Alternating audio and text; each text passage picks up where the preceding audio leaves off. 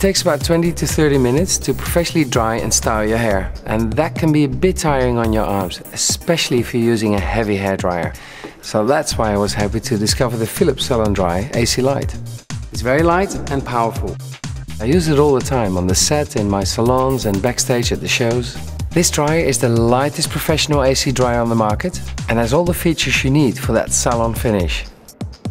Despite its lightweight design, it has a long life 2000 watt AC motor and a powerful airflow. Professional features include ionic conditioning for frizz-free shiny hair, plus ceramic for heat protection.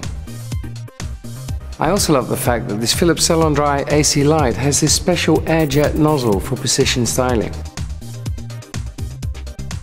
Everything you need without the arm ache